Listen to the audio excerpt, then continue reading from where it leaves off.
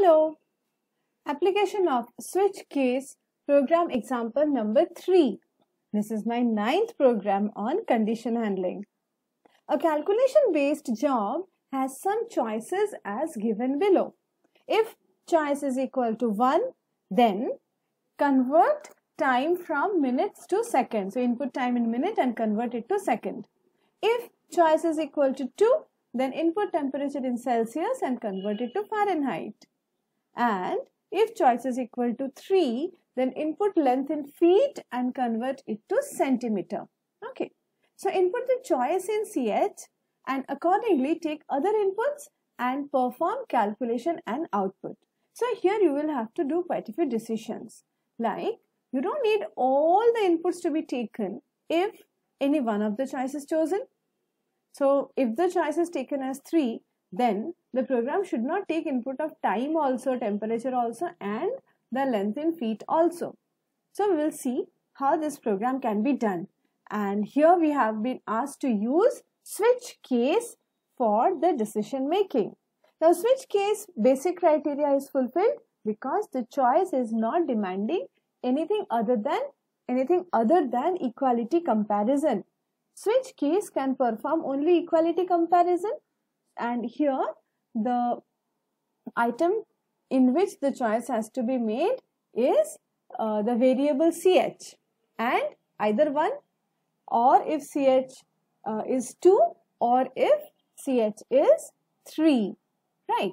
So first and most important input here to proceed with the work is the value of ch to be entered.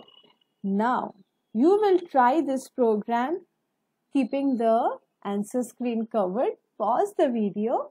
See if you can do it all by yourself. Take the input of CH. In that uh, case, if the choice is 1, they, then take the input of time uh, in minutes and convert it to seconds, then break. If choice is 2, then input the temperature in Celsius and convert it to Fahrenheit and break. If choice is 3, then do as it is asked and then break. And for anything else, uh, print, the choice is invalid.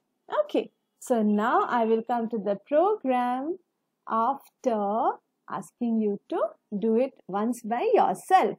Right. So here now comes the window of answer. The program is present for you. So how do you see? See the input of choice has been taken and when choice is 1 then input of minutes is taken which is converted to seconds and the break means stop nothing else to do work is over. If choice is not 1 but 2 in that case take the input of Celsius and convert it to Fahrenheit and the work is done and break means go. If choice is 3, then either 1 is true, nor 2 is true. So come to 3.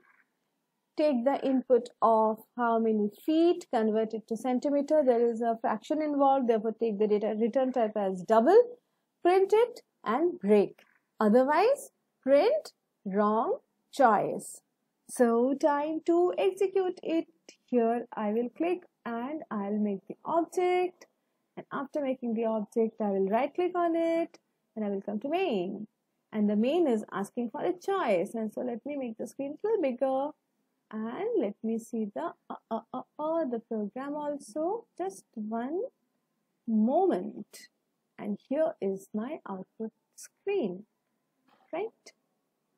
I am supposed to enter the choice. Let me enter the choice now. What choice will be good? Let me to take two.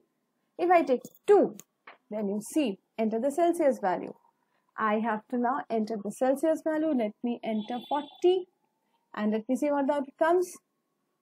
You see, the program became in such a way that when choice choice was entered as 2, not, no, uh, none of the other cases happened.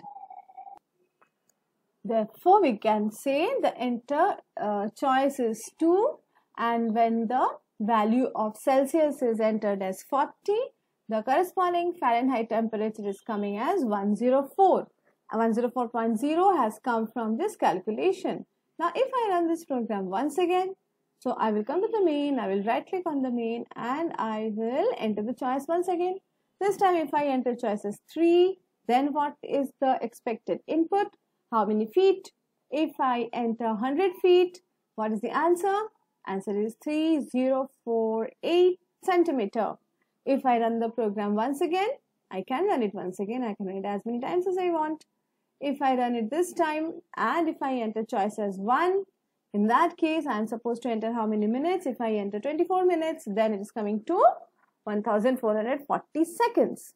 In this way, if I run it once again, and this time if I enter choice as, as, as something which is not valid, 8, then the output is coming as wrong choice, right? So in this way, switch case helps us to do the work of comparison of equality. Okay.